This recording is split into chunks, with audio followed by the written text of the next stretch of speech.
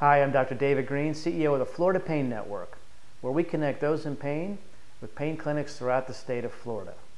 Today, the topic is how to treat adult scoliosis non-operatively. Now, adult scoliosis comes on by way of one of two mechanisms. Okay? The first is if you had adolescent scoliosis that was younger and it didn't need surgery, but it was still about 40 degrees or more, then the chances are that as you get into adulthood, the curve will continue to progress at a very slow rate of one to two degrees per year. And you're sitting there thinking, eh, one to two degrees just isn't that much. Right, but every year for decades, it can really add up. You started with 40 degrees when you were, say, 17 years old, and then 40 years later, you might have another 40 degrees added on to that. That's an 80, 80 degree curvature, okay? It can produce a lot of pain. The other way you can get adult scoliosis is you didn't have any scoliosis as a child, but you can start getting degeneration of these spaces, the disc spaces, okay, which can then lead to abnormal motion and arthritis in these joints called the facet joints. Now, arthritis in the spine is not symmetric typically. So what can happen is one side can break down more than the other and you end up getting, you know, a curvature. Okay? And it can be painful. It can cause not only back pain, but you can also get pinched nerves from the arthritis overgrowth and pain that goes down one or both legs. So what are you supposed to do about that? Uh, surgery is a last resort option. It's called a quality of life procedure. It can be very effective. It can help with both the back pain and the leg pain, but it's not without its risks. There's a 65% complication rate with those procedures. They're very extensive. And the rehabilitation can take 6 to 12 months. So it really is a procedure to think not just twice, but three times about before you subject yourself to that. What else can be done non-operatively? Well, let me just run through the options so you know that there are quite a few out there. The first is over-the-counter, Tylenol and anti-inflammatories. Sounds very basic, and it is, but they can be very helpful. Take them according to the manufacturer's recommended dosing, and particularly should be under a doctor's supervision. But as long as you don't go over that, then you can take those for quite a while. But if you do too much, you end up with liver problems, kidney problems, GI problems. Just stick within the recommended dose, okay? And that can help with decreasing the chronic pain. On exacerbation periods where it's really bad, uh, it's recommended that you can have short-term narcotic management and also muscle relaxers. On the long term, the risks start to outweigh the benefits. You can get constipation, addiction, tolerance, so it's best to do those when the pain exacerbates. Okay?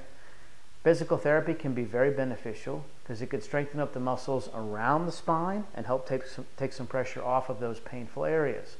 Spinal bracing does not help as an adult.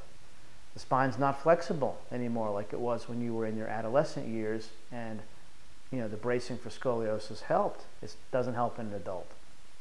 Okay? Chiropractic treatment can help, it's not going to do anything permanent for you, but it can give you periods of relief um, along with, say, the physical therapy. The TENS units with electrical stimulation can help decrease pain in the back by putting an electrical stimulation through the skin and help alter the way that your brain perceives those pain signals. Now, as far as interventional procedures goes, for the arthritis in these joints, called the facet joints, there are two different types of injections. There's injections into the joint called a facet block. Then the other one is around the joint. That's called a medial branch block. But those two different types of injections can not only tell you that that joint is painful, if it gives relief, but in and of itself can give you months of pain relief. Okay? Now, you probably have arthritis at multiple joints up through your lumbar spine because of the scoliosis. But you can treat multiple joints in multiple settings okay, and get a lot of pain relief. If that relief wears off and the pain comes back, you can do a radio frequency ablation, which is heating up this area, whatever areas are painful, whatever joints, and deadening the pain for 12 to 18 months. Okay? So that's really, really helpful. Now, if these nerve roots are getting pinched from the overgrowth of tissue, either bone or soft tissue, that's called spinal stenosis. And one of the best treatments for that, epidural steroid injections. Can also give you weeks to months of pain relief. So between the back pain and the leg pain, there's options for both, okay, that can keep your pain under control so that surgery may not be necessary for a long time, if at all.